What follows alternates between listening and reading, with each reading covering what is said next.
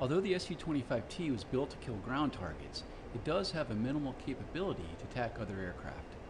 In addition to being able to attack air targets with low crossing velocities with the Vikhr, in the same manner we discussed earlier regarding ground units, the Su-25T can also be loaded with short-range R-60M and R-73 air-to-air missiles.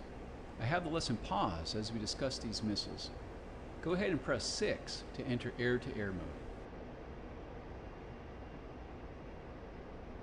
In the bottom left corner of the HUD, we now have an LNGT indication that is short for longitudinal missile aiming mode, meaning they will need to fly the aircraft to align the target with a fixed infrared missile seeker.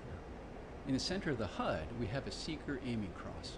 In the bottom right corner of the HUD, we have a 60M indication that means the active air-to-air missile is the R-60M. Press the spacebar to continue.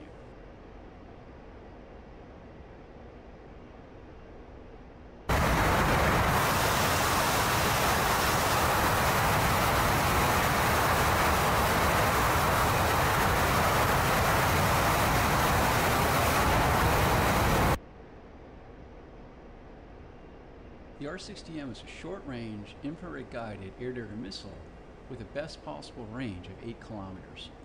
The R-60M has a small 3 kilogram expanding rod warhead, and the Seeker has a limited all-aspect tracking capability. Given its small warhead, a single R-60M hit cannot be guaranteed to destroy the aircraft.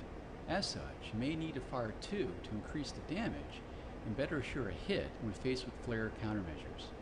Press D to select the R-73.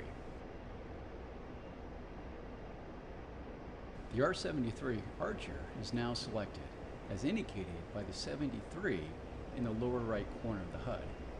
The R-73 is a very capable missile with an excellent all-aspect infrared seeker, great maneuverability, and a large warhead. The R-73 has a maximum range of 30 kilometers in optimal conditions, but the range limitation is most often based on the seeker's ability to attain a lock. Press the spacebar to unpause the lesson. I've placed a target helicopter 6 kilometers ahead of you. Fly the aircraft to place the aiming cross on the center of the HUD over the target. When you hear a high-pitched tone, it indicates that the missile seeker has locked onto the target. When you have a lock tone, press and hold the spacebar to launch the missile.